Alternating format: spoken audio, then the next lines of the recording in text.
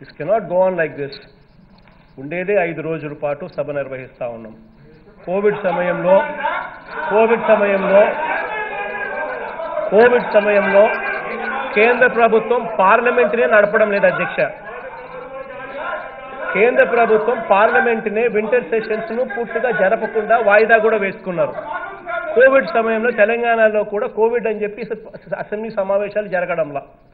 ఇటువంటి పరిస్థితుల్లో బిల్లులన్నీ కూడా కొన్ని ఇంపార్టెంట్ బిల్స్ రాష్ట్రానికి సంబంధించిన బిల్స్ కొన్ని ఉన్నాయి కాబట్టి ఆమోదించుకోవాల్సిన అవసరం ఉంది కాబట్టి ఖచ్చితంగా కొన్ని కొన్ని కొన్ని రోజుల పాటు కొద్ది రోజుల పాటు అసెంబ్లీ జరపాల్సిన అవసరం ఉంది కాబట్టి అది అది it is requirement according to it is requirement కాబట్టి ఈ సెషన్ జరుపుతా ఉన్నాం.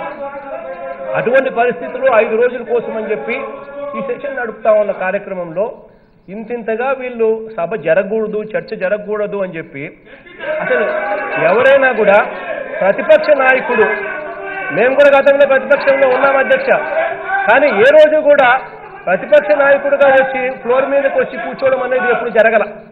అట్లాంటిది ఈయన కావాలని ఈరోజు intentionally intentionally he did whatever he did అటువైపున Palakollu MLA మాట్లాడుతూ ఉన్నాడు. ఆయన మాట్లాడిన మాటల మీద క్లారిఫికేషన్ మేము ఇచ్చినాము క్లారిఫికేషన్ మేము ఇచ్చిన తర్వాత మళ్ళీ పాలకొండ ఎమ్మెల్యే దగ్గరికే వెళ్ళిపోతుంది తప్ప మళ్ళీ ఆయనే కంటిన్యూ చేయాలి కానీ టాపిక్ ఇప్పుడు ఆయన టాపిక్ కంటిన్యూ చేయడు నేను నువ్వు కూర్చో నేను మాట్లాడతాను అని చెప్పి సడన్గా మళ్ళీ ఒక ప్రతిపక్ష నాయకుడు మళ్ళీ లేచి మాట్లాడడం అనేది ఎప్పుడు జరగదు అధ్యక్ష.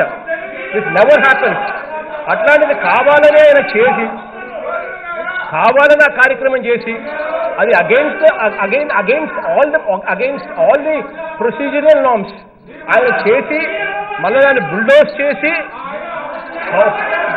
బుల్డోజ్ చేసి రౌడీజం చేసి పెద్ద పెద్ద కళ్ళు ఓపెన్ చేసి ఏ- ఏమన్నాడంటే మా కర్నూలు ఎమ్మెల్యే అక్కడికి పోతే మా కర్నూలు ఎమ్మెల్యే అక్కడికి పోతే ఏమంటాడు పీకుతారా? ఏమన్నాడు?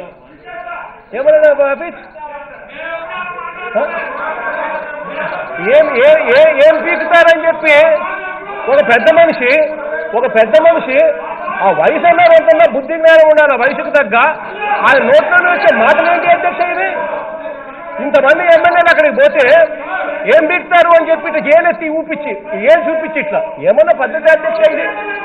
And man should at least have some sense at least ఆ వయసుకు తగ్గ బుద్ధి ఉండాలి కనీసం. ఆ వయసుకు తగ్గ బుద్ధి కూడా లేదు.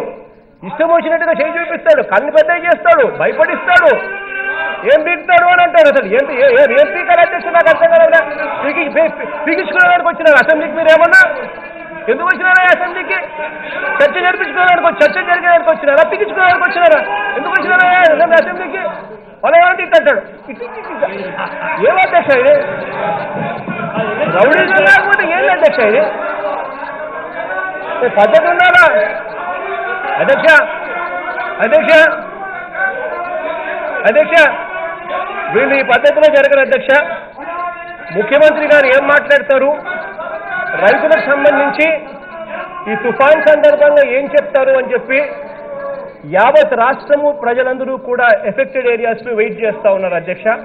కాబట్టి వీళ్ళు వీళ్ళు ఇలాగనే వీళ్ళు ఇలాగే నడిపించే కార్యక్రమం చేయరు అధ్యక్ష. దయచేసి మార్షల్స్ పెట్టించిన బయట తీసేసుకోండి. నేను స్టేట్మెంట్ నేను స్టేట్మెంట్ ఇస్తాను. రైతులు మొత్తం ఎదురు చూస్తా ఉన్నారు ముఖ్యమంత్రి గారు.